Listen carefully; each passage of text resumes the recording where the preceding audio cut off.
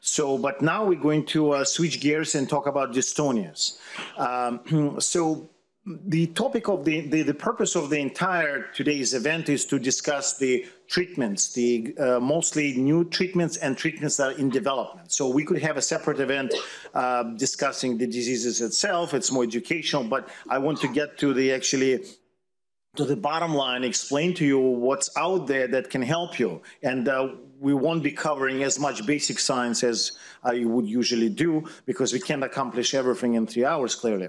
So dystonias. Well, dystonias are sustained muscle contractions that result in movement of a joint or head or arm. So it's basically fight between opposing muscles. Your, let's say your biceps and, and triceps. So uh, one is trying to bring your uh, flex your elbow, the other one's trying to extend your elbow, and uh, at the result, you have kind of spasm in the muscles.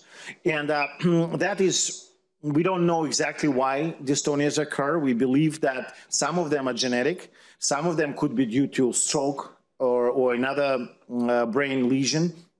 Some of them, and most of them, frankly, occur for, occur for reasons we never know. So, um, the localization is important because uh, the dystonias can be categorized into focal dystonias. They only affect, let's say, your hand. They could be multifocal. They can affect your hand and your elbow. They can be uh, affecting just the face or only the neck, like cervical dystonia. They also can be affecting um, limbs, like people have task-specific dystonia, like writer's cramp. You might have heard of writer's cramp, and that's the example of task-specific dystonia where someone is trying to write and their hand turns into pretzel like that. Uh, the segmental dystonia affect one segment of the body, let's say the entire arm and the shoulder. There could be hemidystonia affecting half of the body, or there could be generalized dystonia. And uh, most of the dystonias are idiopathic, meaning we have no idea why it occurs. There could be drug-related dystonias like antipsychotics and uh, antiemetics, meaning the anti-nausea medications, they can cause dystonia as well. There could be genetic, like DYT1. That's the gene that was identified in um, um, genetic dystonias, and that usually occurs in um, Ashkenazi Jewish population actually in kids, young kids, where they twist it like a pretzel and they're, they're in a wheelchair essentially. And uh, pills only help so much. And that's when deep brain stimulation surgery was developed for those folks. And uh, the results are amazing. I mean, they just, uh, it takes a while, it takes a few years, but they're walking like absolutely normal people after being, um, you know, wheelchair bound. So uh, that's the only, mm, for generalized dystonia, I would say this is the way to go in terms of deep brain stimulation therapy. Now, there's some psychogenic dystonias. People have some um, psychological stress, and that results in abnormal movements. Structural. So I already uh, mentioned about the stroke or any other uh, lesions, let's say uh, mm, trauma to the brain that can cause injury to that motor circuitry that will result in abnormal posturing of uh, the arm or leg.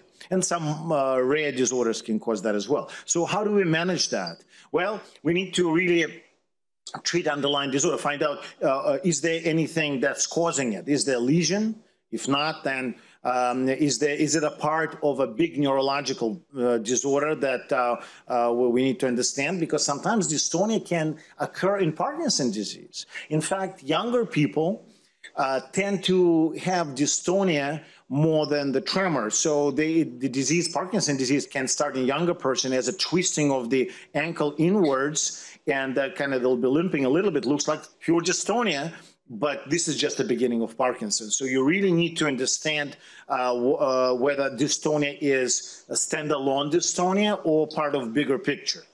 And uh, uh, there are medical treatments, of course, used for dystonia, such as trihexyphenidyl, which is Artane, Valium, Baclofen, Clonazepam, but and they do help, but they're not that great.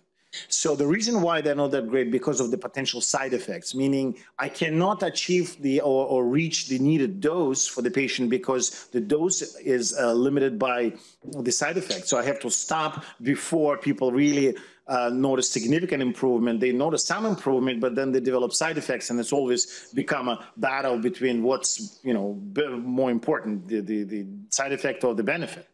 So therefore, medications have limited value. And sometimes we use all of the four classes, uh, which I listed here. Um, here, uh, Artane, Valium, baclofen, and clonazepam. Now, botulinum toxin was developed probably in the late 80s, and uh, it's approved. We're going to talk about that separately. And uh, botulinum toxin is basically toxin that uh, prevents uh, um, release of the acetylcholine in the synaptic cleft and prevents muscle from uh, contracting. So it basically weakens your muscles. But if injected in the hyperactive muscle, it certainly can give you um, enough release of the muscle or, or, relaxation without any side effects because it doesn't get to your bloodstream, it doesn't get to your brain. So there are no side effects beyond the area where the injection took place. And that's why it's so um, useful for many things we'll discuss later on. But um, the, right now it's the focal dystonia I want to mention. So for cervical dystonia, for writer's cramp, um, it can be used. Now, for severe medication refractory generalized dystonia, as I already alluded to, uh, deep brain stimulation seems to be working um, uh, quite well, and that was approved by the FDA in the 90, 97, I think. Uh, and I've had several patients who had it as kids, frankly, like uh, young teenagers, and uh, by the, like in matter of few years, they were they were completely fine. So unlike um, tremor, dystonia doesn't get better immediately after deep brain stimulation surgery. So let's say for tremor, they put it in and uh, you get off the table, you wake up from the surgery and you have no tremor. Come, immediate response, immediate. For dystonia, it might take up to six months or nine months to actually uh, notice significant improvement. So, uh, but it, uh, the, the symptoms do improve. And the what's the usual kind of uh, algorithm for treatment of dystonia? Well, that consists of the three um, domains, as I mentioned. So the surgery, the brain stimulation surgery, or chemodenervation, it means the uh, botulinum toxin injections. And there are two types, the toxin type A and uh, toxin type B. Pardon my uh, use of the brand name. So uh, there, there, are several toxins, not just Botox, uh, but there's only one um, uh, toxin B, which is approved in the United States. It's called Myobloc. So there are two types, A and B, mm, but that's the botulinum toxin, and there are oral medications, and I listed them. Uh, so we, of course, start with, if it's a focal dystonia, I wouldn't even play around with the medications. I would go directly to the botulinum toxin. Uh, if uh, and I might add some medications if it's more than just focal dystonia. Is if dystonia is uh, uh quite severe and generalized, um, I would go directly to uh, the surgery. In which case, we can spare you from side effects of all these medications. And uh, you know, we, we can't inject gallon of botulinum toxin, so therefore, surgery would be the alternative to that. So um, I already mentioned that there are two types, and uh, there are three uh, of uh, serotype A and B botulinum toxin. And A has uh, three approved drugs on the market: Botox, Xeomin, and Dysport. And uh, serotype B is Myobloc. So how do I choose between those? So um, I personally never use this Dysport. Not that I have anything against it. I just personally never never did. So it's apparently as good as others, but I I, I never got to use it. So I'm using uh, uh, Botox or Xeomin. That's uh, uh, type A. Type B Myobloc. Uh, I use it for drooling, and uh, the reason why is because it works best for drooling. Uh, based on our experience, it's not approved, I think, yet for drooling. But again, this is uh, this is not a uh, the, the, the talk is is not really limiting me in terms of what I can tell you. So I don't have to be on label, and uh, I, am telling you what what you know doctors are using in movement disorders, um, and what's the best treatment based on our experience. And so Myobloc. Um, does, uh, uh, it, it, has acidic environment. So when injected, you can have uh, more pain than with uh, Botox or Xeomin. So um, it can be used for cervical dystonia as well, but it just hurts more. So I don't use it for that purpose. But for the drooling, it works the best. Now, um, and we'll talk about new uh, things that, uh, in development a little bit later, but let me just uh, cover cover a couple of other things. So, blepharospasms, it's a variant of dystonia when people have involuntary spasms of the eyes, uh, eye muscle. So basically, they close the eyes and they have difficulty keeping the eyes uh, open. And um, it's just another, it's a facial dystonia. So the treatment for that is botulinum toxin injection uh, in the muscles around the eye area. And I'll show you a picture next slide. It certainly can limit people's uh, quality of life because they, they might not be able to watch TV or talk to other people. When they're talking, they close their eyes involuntarily. Uh, and uh, botulinum toxin does help, and it's injected around the um, eye. So that's called orbicularis oculi muscle. I usually do five shots. And the effect lasts uh, three months approximately. Um, the maximum effect usually is achieved one month after the injection. Uh, potential side effects of that, well, botulinum toxin weakens your muscles. So if I inject too much, people might have difficulty opening the eyes. Um, no, sorry, um, I meant to say uh, closing the eyes, not the opening. So they, they, they might not be able to, to shut the eyes uh, tight because uh, that's what Botox does. It weakens that muscle. For hyperreactive muscles, that causing uh, too much closure of the eye. So uh, I'm just relaxing those muscles with these injections. So um, uh, now hemifacial spasm, it's another uh, uh, dystonic um, symptom which results in uh, involuntary um, kind of spasm on one side of the face. Uh, most common cause for that is uh, Bell's palsy, a sequela of Bell's palsy. So when you have drooping of the face, you might have seen some of your friends or whoever might have had it. And after that, the, the nerve regenerates, but unfortunately, as it regenerates, the uh, nerve goes in different directions throughout the face, and uh, essentially some branches go where they don't belong. And so, when, for instance, you're trying to smile, your left, uh, the, the, the, same side of the uh, eye, the, let's say left uh, part of the face, you're trying to smile, your left eye closes.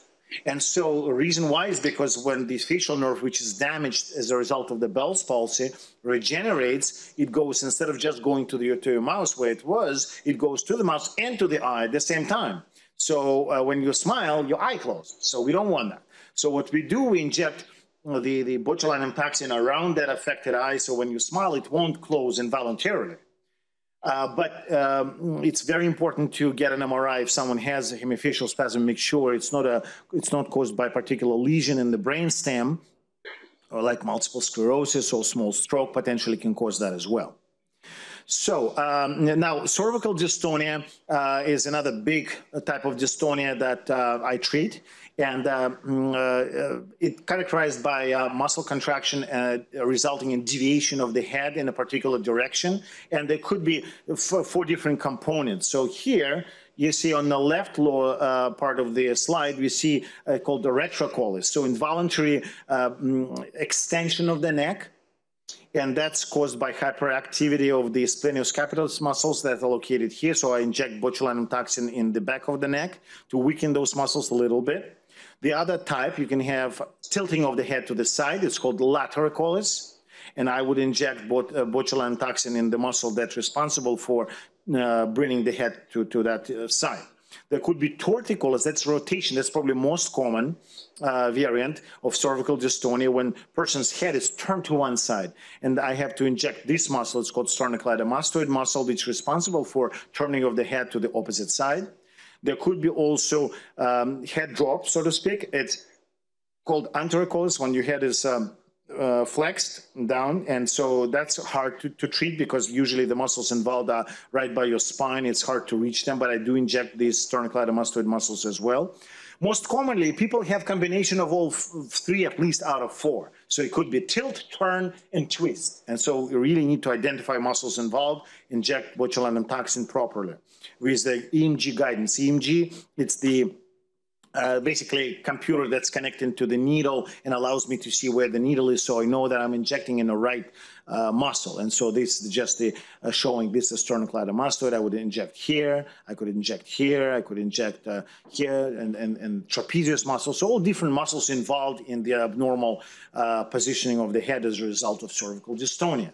Now, botulinum toxin is also approved for uh, upper limb spasticity and that uh, usually is seen after stroke uh, when person cannot open up their arm and so we, botulinum toxin would be injected here or in the uh, muscle of the chest potentially in the forearm muscle to open up the, the hand. Some dystonias would look identical to that uh, so focal and multifocal dystonia. So the injection would be also in the uh, biceps and this muscle and that these muscles to open up the, uh, the, the hand for better control Uh, other indications for botulinum toxin that's uh, not really dystonic, but I'll just mention since we're talking about it, drooling. So drooling, unfortunately, does occur in uh, some people with uh, Parkinson's disease.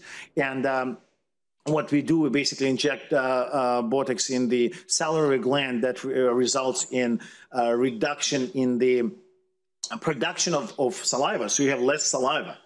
Uh, chronic daily migraine, that's I think FDA approved, the botulinum toxin for that in indication. I don't inject that, I don't treat migraine, but it's done. And another interesting thing is this urinary bladder hyperactivity. So uh, I don't inject, but urologists inject that at NYU. I can give you name of those uh, doctors if you're interested. So what they do, they inject botulinum toxin in the wall of the hyperactive bladder, and that results in relaxation of the bladder. So people who have urgency to go to the bathroom as a result of Parkinson's disease actually able to have better quality of life. So they don't need to run every every 30 minutes or so. Uh, I cannot tell you whether this same technique can be used for enlarged prostate and I would ask your urologist. But for the hyperactive bladder due to Parkinson's disease, certainly it does work. And same thing, it lasts three months. Um, now, we're going to switch gears and talk about ongoing clinical trials in dystonia. So um, for some of you, it wouldn't be uh, relevant because uh, this is just for dystonia, but uh, this is part of the today's presentation. Um, um, so um, this is interesting. I'll start with the botulinum toxin. Uh, there is a company called uh, Revance, and uh, uh, they are in the process of um, developing a longer-acting botulinum toxin. It's called Daxi botulinum toxin A, it's type A, and uh, the phase two is completed already and it showed that uh, the effect of the Botox, uh, botulinum toxin, sorry, lasts up to 24 weeks. So that is uh, six months. So I said that usual botulinum toxin lasts three months. So this one potentially can last twice as long. So now they're recruiting for phase three trials called Aspen One. Those who are interested uh, can look into that. I don't know if one of the sites is located in New York or not, but you can Google it or go to uh, sources. I'll tell you later, and and we'll tell you which site is recruiting. I know that trial is recruiting, and it's called Aspen One. Uh, now, oral medications. So, uh, oral medications also being uh, developed. I'll mention that's for for dystonia, for different types of dystonia. So, zonisamide um, so that study was completed, uh, and the, initially that medication is on, uh, was developed for seizures. But then they uh, thought that they could help for myoclonus dystonia. It's a rare condition where people have jerking movements and posturing at the same time. Posturing, which is dystonia part, can be dealt with with botulinum toxin. For myoclonus, which is the jerking movements, uh, doctors usually use clonazepam. Uh, but uh, this medication can be very helpful, apparently. So the primary, uh, it was 23 um, week uh, study, double blind, placebo controlled, and the primary outcome was severity of uh, jerking movement. Secondary outcome was severity of dystonia. And results showed significant improvement in symptoms, and the, that was completed. It's not approved for dystonia. Uh, the company, uh, it's a generic drug, so nobody really um, can ask for FDA to approve it for that indication because it's already approved for epilepsy. It means any doctor can use that drug for any condition they want to. So potentially these can be added to your mixture of uh, uh, you know drugs you're taking for dystonia because the studies recently showed significant improvement. That's called zonisamide. Now, uh, not such a happy story for levetiracetam, which is another name for this Keppra. So also anti-seizure medication, and it was tried in um, mm, uh, basically uh, double-blind placebo-controlled uh, study for oculomandibular or cranial dystonia. So what it means is that people have difficulty opening their mouths, they have spasms uh, uh, in the muscles uh, of the face, and that study lasted 15 weeks, and the primary outcome was the that special scale, sub-score of the dystonia scale. Uh, the study was completed and uh, showed lack of efficacy. A recent, unfortunately, recent, recent advanced uh, uh, publication showed that it wasn't uh, any superior to botulinum toxin. So, but I still felt that I should mention to you because you might read about it. Now, I'm uh, ampicillin. Ampicillin is the antibiotic Ampicillin is antibiotics, uh, antibiotic that's used for treatment of infection, but there, there was a thought that it might improve torsin independent, uh, independent uh, secretory function in fibroblasts. So torsin is, is, basically a gene that's implicated in a pathophysiology of dystonia of DYT1. That's a genetic dystonia affecting kids mostly. And they did a pilot uh, phase one trial. It's only lasted 70 days and uh, they looked at the safety and tolerability. Always phase one doesn't look at, at how good the medication is. They just, in terms of how, how much it works, they just look at how safe it is. So they, it was completed. Results are not available yet, but um, they uh, planning recruitment for phase two. So I would imagine the results are okay in terms of safety, but I, I don't have the data. So uh, that's for generalized dystonia. I said uh, they only looked at DYT1 generalized dystonia, but potentially it would be interesting to see other types of generalized dystonia. Would that be helpful or not? So um, uh, the other thing is uh, uh, perampanel. So that's an AMPA antagonist. Um, uh, that's a mechanism of action. It was an open label study, phase 2B for cervical dystonia. Well, open label studies are not good because there's no placebo control. And you know that in neurological world, we can get 20% improvement in any neurological symptoms from placebo. So um, I really I'm skeptical when we're talking about open label studies that did not include um, a placebo arm. Duration was four weeks, and the outcome included safety and tolerability. And so the study is recruiting. So we don't have results because it's an actively recruited study, phase 2B. Um, uh, so uh, for cervical dystonia, those who are interested, I can direct you to see where it's uh, um, where it's uh, being done. Um, to my knowledge, uh, um, it's not at Cornell. Uh, we don't have it at HSS, and uh, they don't have it at Sinai. I'm not sure about Columbia or NYU. Um, now, sodium oxybate. Uh, so oxybate, uh, so that's the drug I mentioned earlier about uh, alcohol-like drug. So it's a very strictly controlled substance because it, it has potential for abuse. And uh, another name for that medication is called Xyrem. So it's essentially alcohol in a form of a pill that really doesn't get you drunk, but uh, relaxes you. And uh, uh, it's tried for voice tremor, for spasmodic dysphonia when people's, uh, when they're speaking, they're speaking like that. You know, they're like kind of very crisp, uh, hoarse voice because their vocal cords are super hyperactive and they close where they're supposed to stay open. So, um, it's a phase two and phase three double-blind, placebo-controlled uh, crossover randomized study, and the indication was voice tremor in spasmodic dysphonia. So it's very narrow indication. And uh, uh, so that study is being done. Uh, the, the, that was a phase two to three. The phase one and two were done, and they showed improvement. They looked at the brain activity on functional MRI. It certainly improved. This time around, they used primary outcome as the symptom improvement. So the uh, status is the recruiting. So for the phase three, if someone has voice tremor and spasmodic dysphonia, then they can certainly uh, enroll in that uh, study of Xyrem. Um, now, other non-invasive approaches uh, in terms of the uh, clinical trials, they include uh, transcranial magnetic stimulation. There are two trials for different indications taking place. They're both recruiting. So transcranial magnetic stimulation, so what is that? It's basically you're sitting on a chair and there is a probe and they stimulate your brain externally and uh, you frankly don't feel anything, but they're applying big magnetic force to a certain part of the brain to stimulate that area.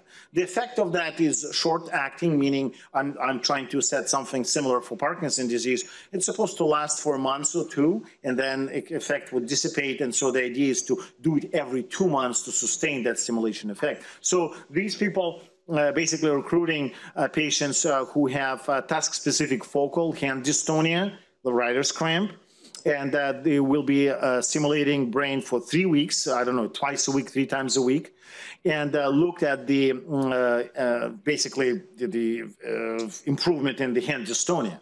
There are really no side effects for that trial, but um, and I think it's interesting those people who have um, involuntary spasms of the hands. Now, the other trial, also transcranial magnetic stimulation, uh, the, the, it's used for spasmodic laryngeal dysphonia. So basically those people who uh, have difficulty speaking because of the hyperactive uh, you know, vocal cords that they close. Uh, and um, instead of injecting Botox, because that's alternative, to inject botulinum toxin in the muscles responsible for closure uh, of the uh, vocal cords, and that can result in loss of speech. If you, uh, you know, inject too much in those muscles, then you won't be able to close your vocal cords. You'll be silent for three months, so that's not too much fun. Uh, and uh, so that would be alternative for that. They stimulate area of the brain responsible for the speech, and uh, apparently it's only just one session. They see how much better you get uh, just from uh, from one session, and uh, the, that trial is recruited as well.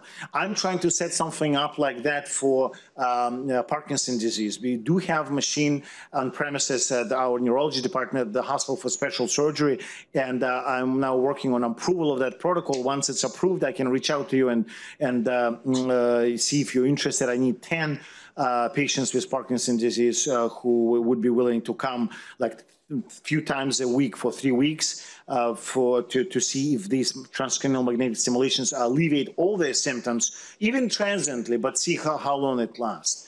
So, but that's uh, it's not approved yet. Now, surgical option. So uh, just briefly, we'll talk about DBS, I promise, and so you'll know more about it because Dr. Kaplitt had only limited amount of time to go over it, and uh, I will um, you cover the same topic again. So um, DBS for dystonia, as I said, from the late 90s, it's been used. Uh, and uh, uh, basically what happens is that uh, the electrode is inserted in globus pallidus, not, not the subthalamic nucleus. The subthalamic nucleus is reserved for Parkinson's disease. I should correct that.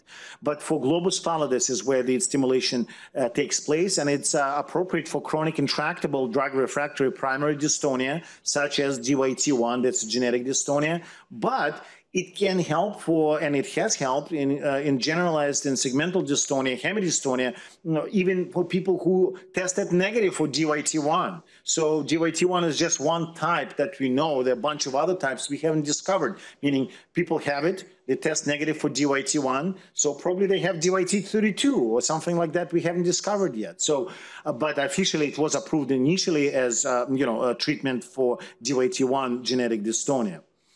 So, um, now, this will conclude the, mm, uh, the dystonia uh, part.